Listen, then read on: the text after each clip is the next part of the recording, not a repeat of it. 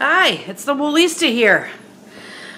And let's see, I videotaped about a month ago, I'm going to say. Oh yeah, because it was Thanksgiving, because I uh, was getting ready for my trip to go to California. Let's see. This is the Woolista. And you can find me on Ravelry.com as the Woolista. You can friend me and see all of the projects that I make, what type of yarn I use, the pattern, the progress, the end results. Because some of them end up getting given away before I can tape a show. Um, a lot of the stuff that I make is charity items with some groups that I belong to. On Tuesday nights at the in Wickliffe, we meet at an assisted living home, uh, Brookdale. That's what it's called now. It used to be called Fairways because there's a golf course across the street, and I think it's still called Fairways, but the assisted living home is called Brookdale. Anyway, we've been I've been getting together some crocheters there for 13 or so years. I don't want to date myself too bad here on but uh, we make tons of charity items and last year I think we ended up donating 400 and something items, hats, scarves, gloves, headbands, you know, head wraps, blankets, to babies, to veterans, uh, a whole assortment of things. So I keep my charity um, items on Ravelry because I usually just take a picture and then put them in the donation pile and they're gone. But let's get to uh, updating you on a few things. I was I taped last time, I think a week before I left for California. It was so much fun. I had the best time with my daughter and her husband. They took me to the best restaurants. Loved going to the ranch. It's the one that Clint Eastwood bought. And uh, I guess the story behind it was it was a ranch that was going to be uh, torn down and made into a development of some sort houses, that type of thing. And he bought the ranch, and it's a working ranch, and they he put a restaurant on it and turned the house into a, like a bed and breakfast. I don't know if it's big enough for a hotel. I didn't get in that part. We just went to dinner. Uh, it's beautiful. The meal was superb.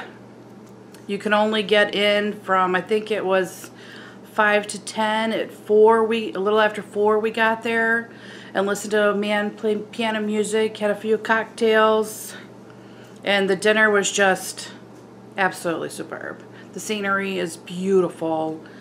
It's a must to go to if you go to California. Uh, we were in the Monterey area.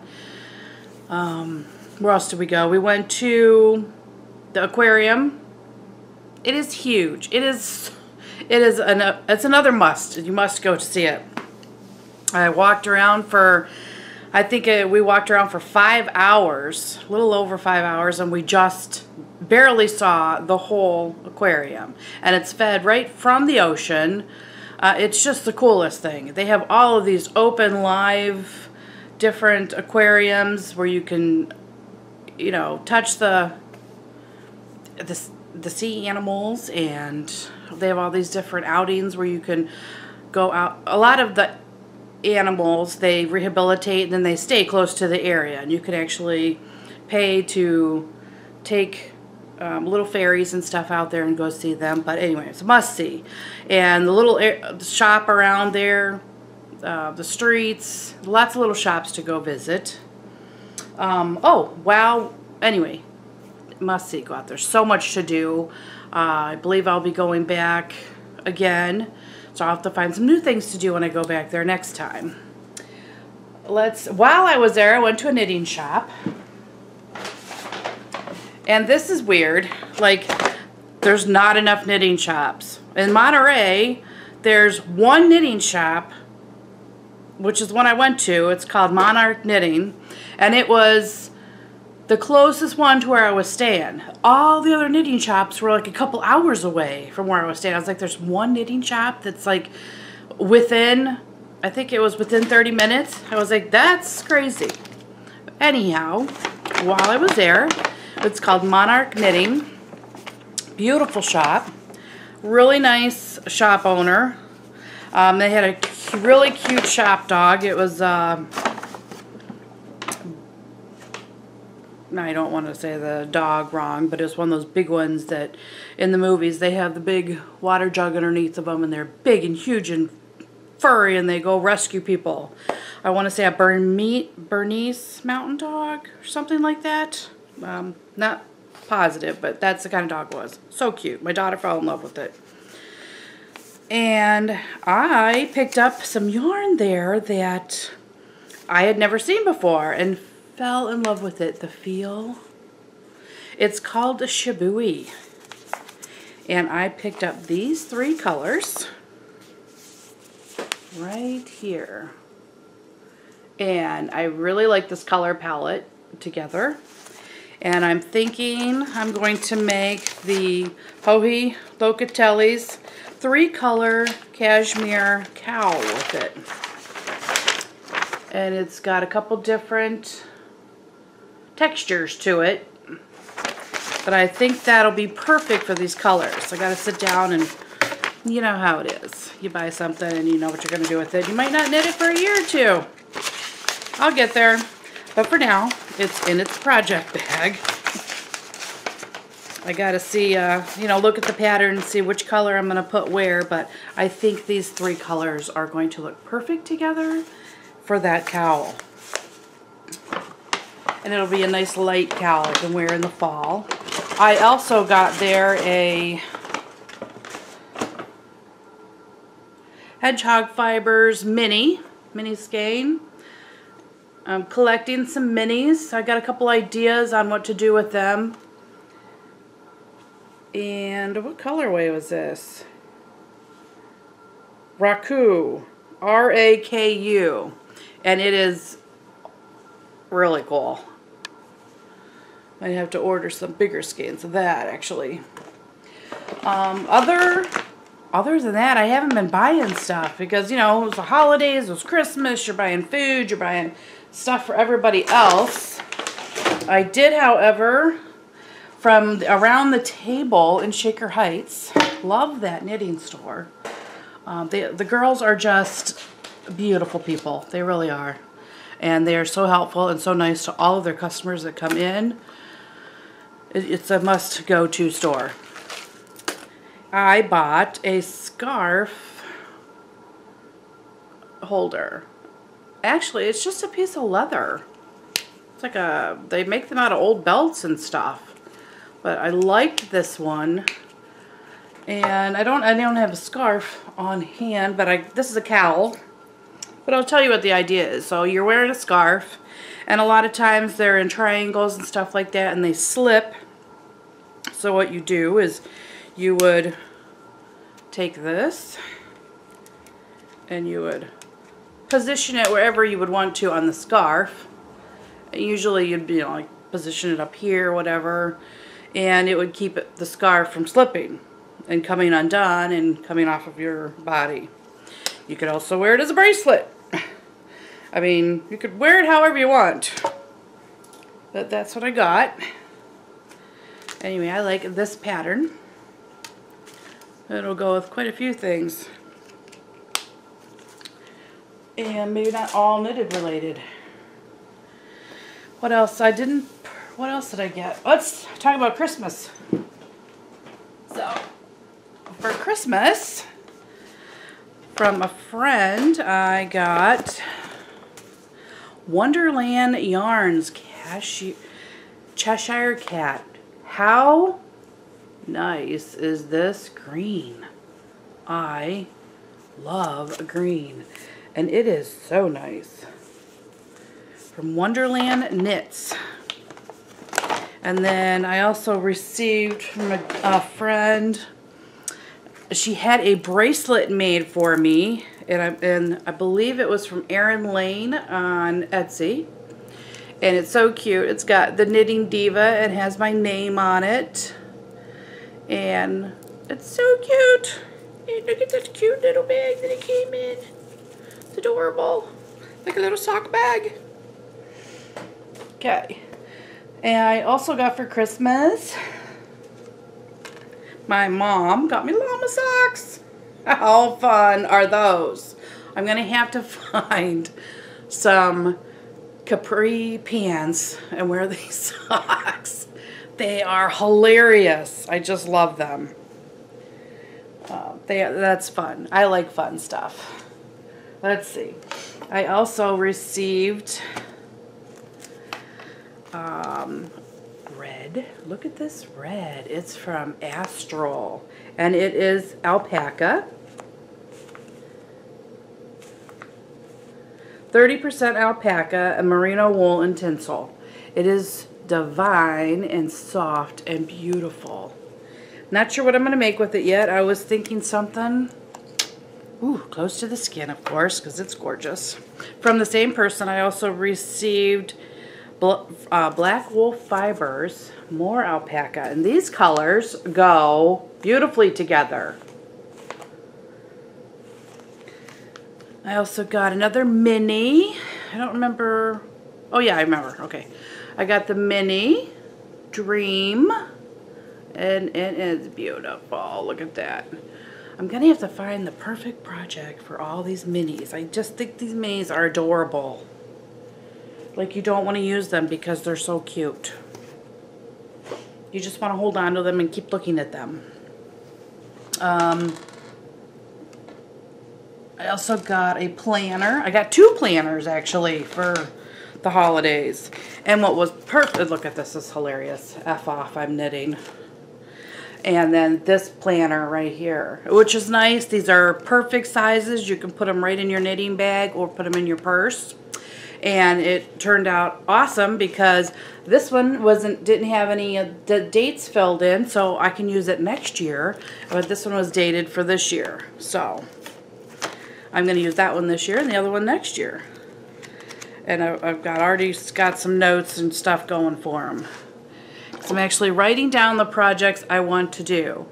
There's so many things you want to do and you just cannot get them all done in a year because I knit, I crochet, I am getting into weaving. Um, I do lots of different things. I, I can't even spin, uh, process wool. I mean, it's all fiber related, put it that way. I love fiber and wool and the smell and the touch and the feel and it de-stresses me. It just calms my mind. And if you know me, you know I'm either moving 100 miles an hour or I'm sleeping. I think, I think there's something just mechanically wrong with me. I'm either going, going, going, or I'm out. Um, let's see. Oh, another girlfriend got me. Is this hilarious? I can't run. I'm a mermaid. That is so cute. And she also got me a mermaid that's hanging from my car right now. It's a silver piece and it says, have a mesmerizing day. It's got lots of glitter and it's pretty and it sparkles and it's me. And then look at this little bag. It says, you are mesmerizing. Look at the teeny tiny little bag. I'm just going to keep it on the corner of my corner shelf to just throw odd things in while I'm, until I figure out what to, where their final home will be. Also from my Bella Cardin girlfriend. She is amazing. She makes the best bags in the world. I don't have my big mermaid bag with me. It's in the other room with projects. But this matches my big mermaid bag. And let me tell you, her bags are to die for. So she made me a smaller project bag to match my big mermaid bag. Because we all know I love mermaids. Speaking of mermaids, I keep getting, I haven't seen her personally. I haven't seen her stuff personally from any vending, you know, fiber festivals that I've gone to, but the spinning mermaid keeps coming up on my Instagram. I'm going to have to get her stuff. The colors that this person dyes are beautiful. And I'm like, ah, every time I see them, I'm like, oh my God, I love that. She also made me a little pouch to go with my bag. And get this. She made a tin to go with the bag. And it has a magnet in it so you can stick your, um, you know, all your stitch markers and stuff will stick to it. And little little gadgets that you don't want to fall. Is that hilarious? She also made me stitch marker bobbins in the color of my bag. She's she's so creative. She is remarkable. Everything she does is beautiful. I just love her stuff. Cannot get enough of her stuff. Let's see. What else? Oh, and I got a kit to make two cute little mermaids. These are going to be adorable. I'm going to, I don't know, I'm going to make them and probably hang them in my, in here in my craft room at my studio. I've turned my garage into a studio because I do so many different things. Look at how cute that is. Oh my goodness. And it comes with little eyes and little, that's a whole little kit to make two little mermaids. and it's just goofy and cute. I love it. Just love it. And let's see. From crochet, I won, oh god, the, uh, the biggest, beautifulest crystal bowl. It stands like this, or are you, like this tall off of my table in the kitchen. It's gorgeous. And it's huge and round. I mean, like this big around. And you could just dump. We have it filled with candy right now over the holidays, which is not so good. When people come over, I'm like, take a bag of candy. I don't want to eat it. Take a bag of candy. And then from the giveaway table, like we do this little thing at Crochet Christmas that uh, everybody brings in stuff. And this they keep calling numbers and you go up and take stuff until you're done. So this was a little hat kit, hat yarn knitting kit. So this will be cute. Make it up into a little kid's hat and give it away. It's adorable. All right. That's enough. I think that's all of the acquisitions. Uh, I will show you my looms later. So, updates on Katrina socks. They're not any further. I took them to California. Good thing I did. Put them on her feet and knit an extra couple inches. I was like, okay. I'm going to have to make a, a special mental note of that. And then, does according to the measurements online, they should have fit, but they, they really didn't. They needed a couple extra inches. The black and gold scarf, it's still the same spot it was the last show. And, uh, I mean, at the holidays, uh, you know, everybody had tons of stuff to do. You would think that with the more time off of work, that I would have got more done. No, guess what happened? I was sick the whole entire holidays. Yeah, sick, sick, sick. Started like after my dad's big Christmas party. The next day I'm like, oh, I think I'm getting a head cold. Ear was itching. So that was Sunday. The next day went to work. By the end of work, I was just like toast. And then Tuesday, ended up working from home, doing some emails, and stuff in the morning. And then, I mean, I was just like, oh, I'm getting sick. Slept the next couple days. Um, you know, and then New Year's Eve came. We, you know, Al pretty much babysat the whole time. I stayed in the chair, just trying not to, trying to keep my head up. Um, I mean, I was just like really feeling ill. So then by my birthday on the 2nd, that morning, I woke up, had him rush me to the emergency room. I didn't know what the hell was going on with me. There was it all started with the head cold. And then, like, everything was so inflamed. I thought I had a double ear infection because I'm prone to ear infections. And I thought maybe I had strep. I thought maybe I was like, something's wrong with me. I can't breathe. You know, everything is just so swollen. Don't, like, I had a mild heart attack a couple years ago. So, whenever he took me to the ER, what does he say? She can't breathe. I was like, no, no, no, no, no, no, no.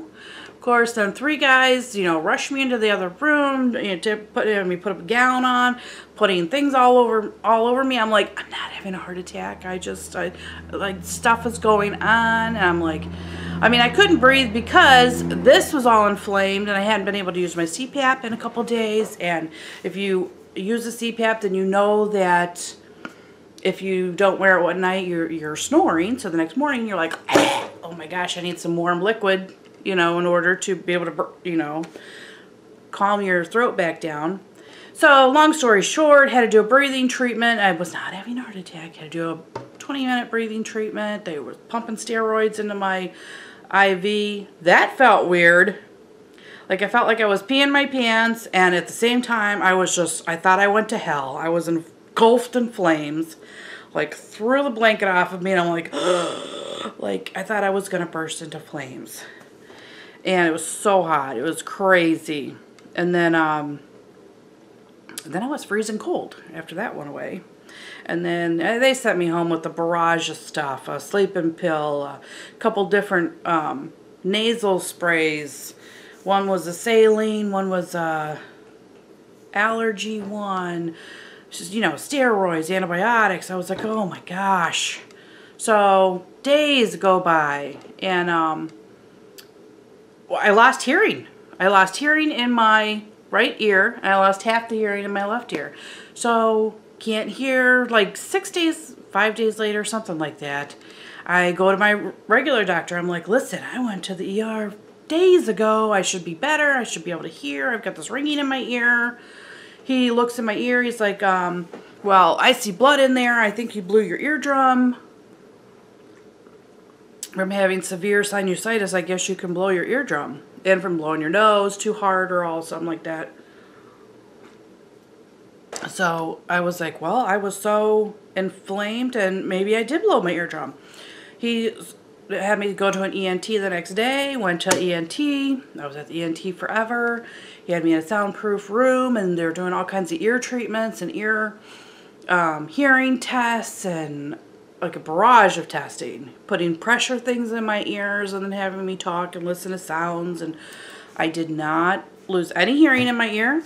I have no permanent damage in my ear, thank goodness. I did not blow my eardrum. He said I did break a couple blood vessels in there, that my hearing should come back. Now that was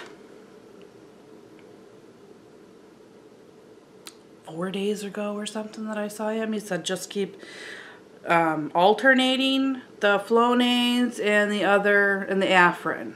Because the Afrin's a decongestant, I guess, and the Flonase is more like a sinus allergy thing.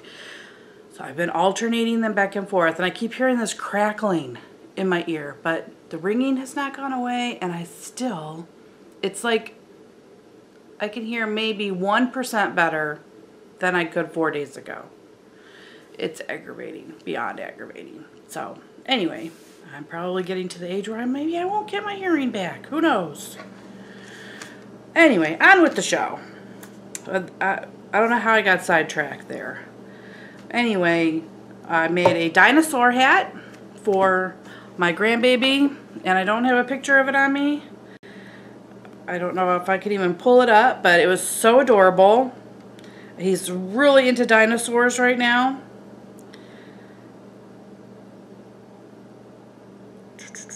So, I mean, I was going to try to pull it up. I don't know if I can real quick or not. Let's see. It was um, fun to put together. oh, I was like, oh, I can make this, no problem. Looked at the picture, and it was one of those, I didn't have a, like a pattern, so I kind of YouTubed it and watched how she did it, and then I was like, oh, I can do this. It's a little complicated or tricky with a couple different spots and I wish I could have measured the hat a little better but it turned out really good and it fit him really well. Um, I didn't like the teeth that oh here it is. I didn't like the oh I don't know where the hell it went. Now I lost it. I did not like the teeth that the lady had on hers because they just weren't jagged enough.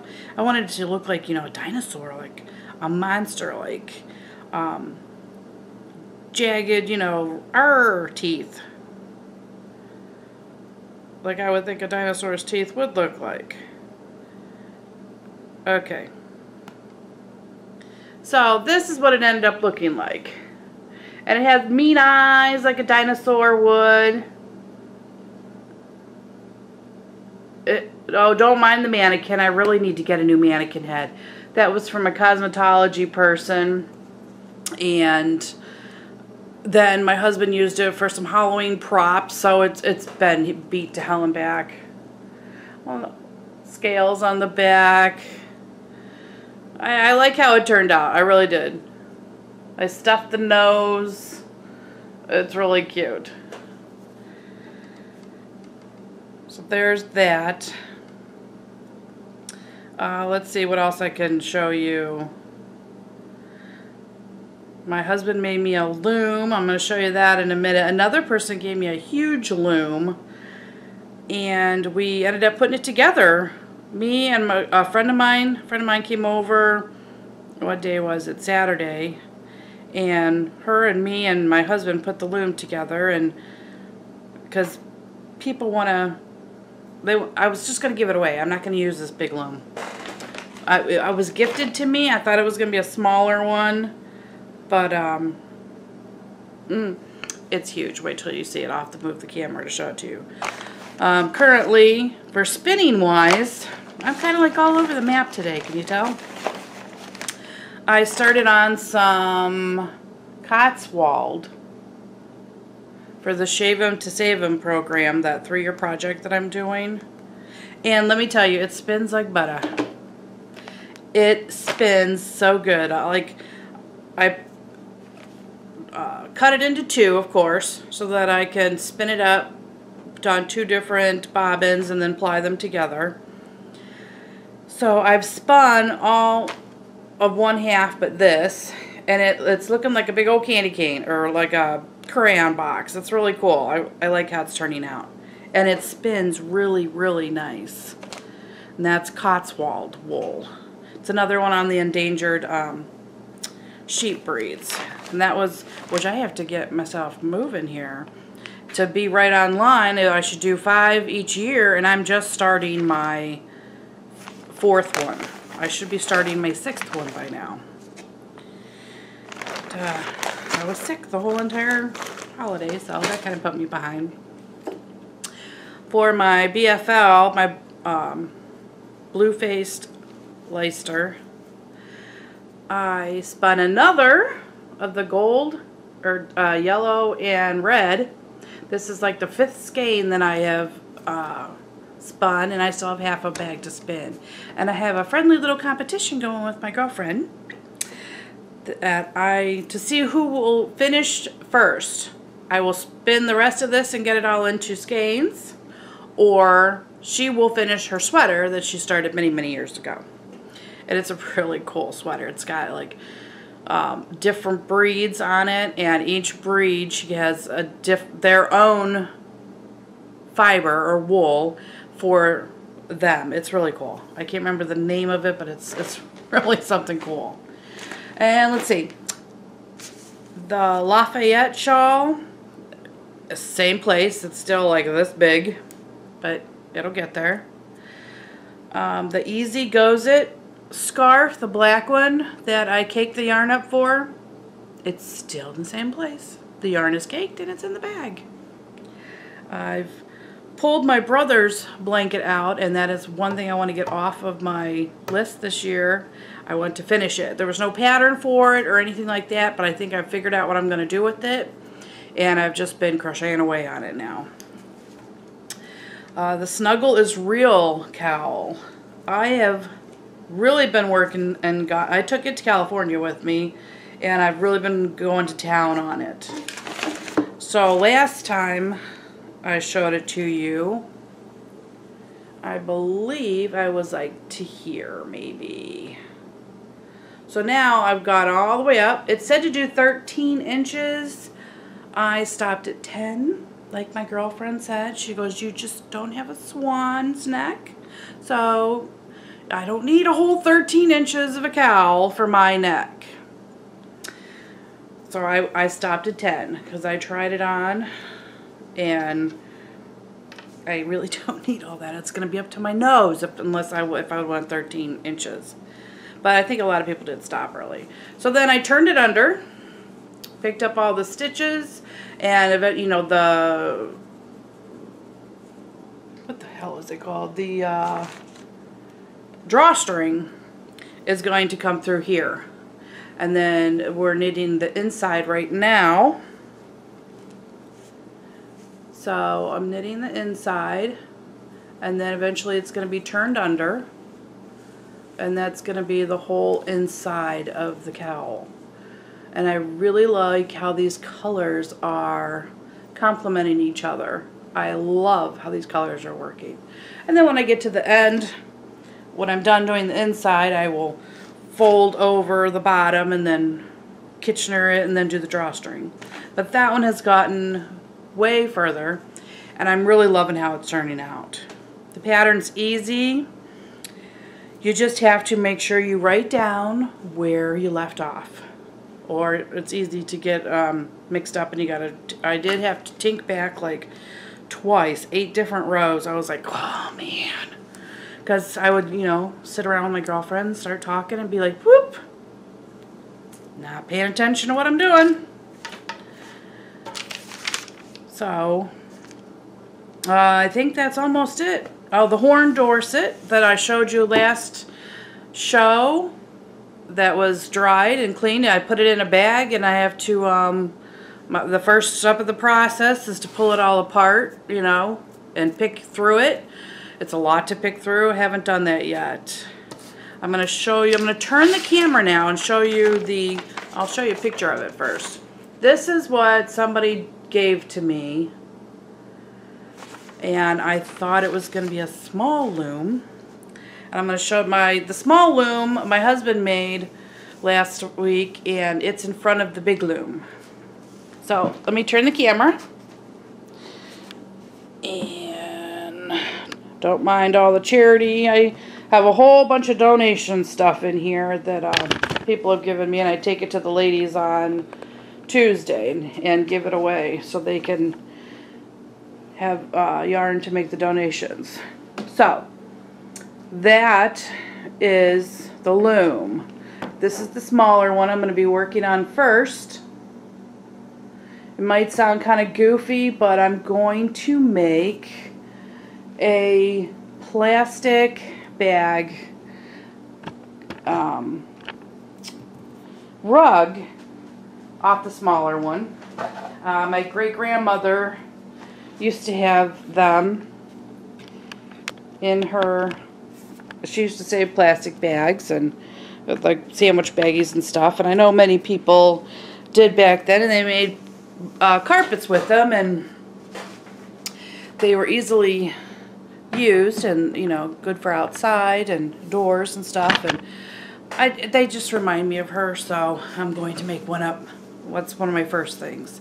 I'm also thinking about uh, all of this that I spin up weaving it in on the loom and then sewing up the edges and making it into like one of my Aldi's bags or something.